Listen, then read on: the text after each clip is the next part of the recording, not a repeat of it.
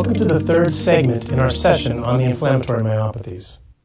In the previous segment, we discussed the first of three inflammatory myopathies we'll be covering in this session, polymyositis, which results from CD8-mediated inflammation of the endothelial lining. In this session, we will look at a second condition, which has a very different histological presentation pattern, as well as a dermatological component, as the name implies. In this session, we'll be looking at the presentation pattern, pathophysiology, treatment, and prognosis for the inflammatory myopathy referred to as dermatomyositis.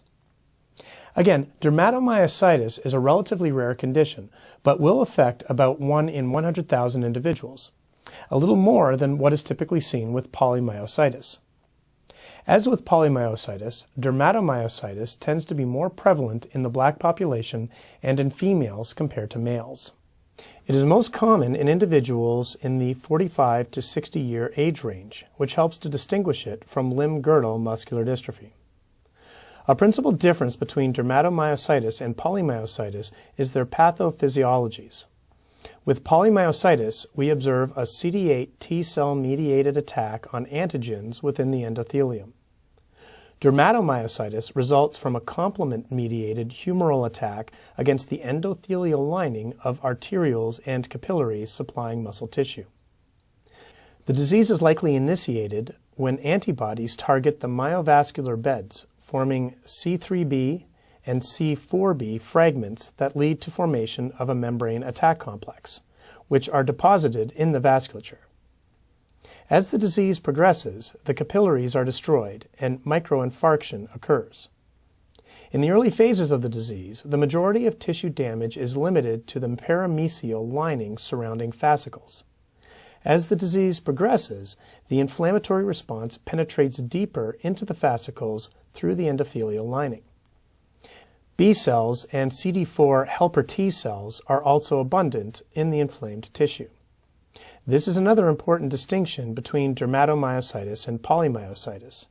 Analysis of biopsy samples from patients with polymyositis demonstrate CD8 cytotoxic T cells, which initiate the inflammatory response. With dermatomyositis, there is most commonly the presence of CD4 helper T cells within the inflammate.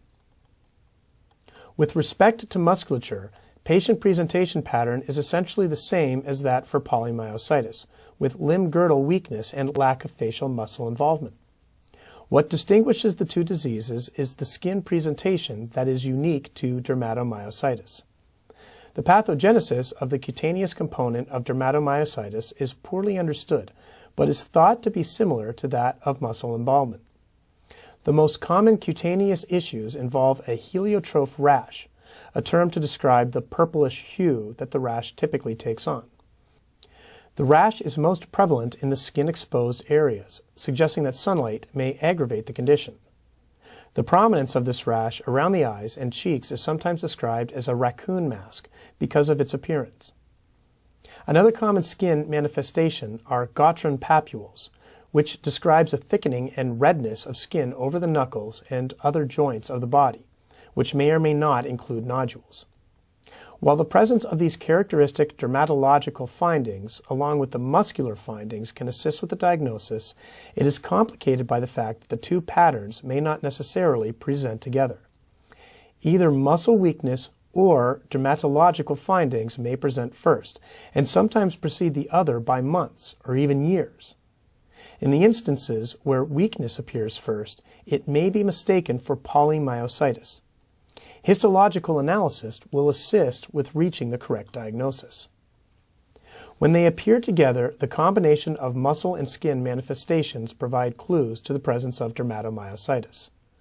When muscle symptoms are present, blood tests will show the presence of creatine kinase and aldolase. This will generally lead to electromyography or MRI tests to identify affected muscles and potential biopsy sites.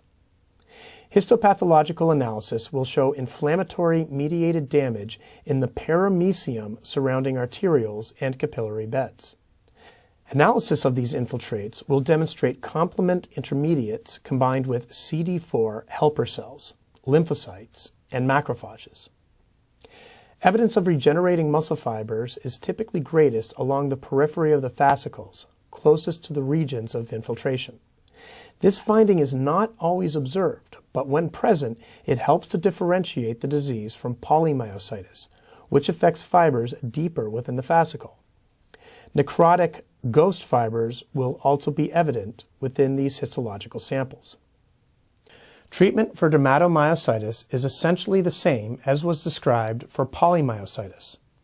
The patient will be prescribed a high dose of corticosteroids to control tissue damage, with the dosage being cut back to a regulatory dosage that prevents recurrence while minimizing adverse side effects. That concludes this segment on dermatomyositis.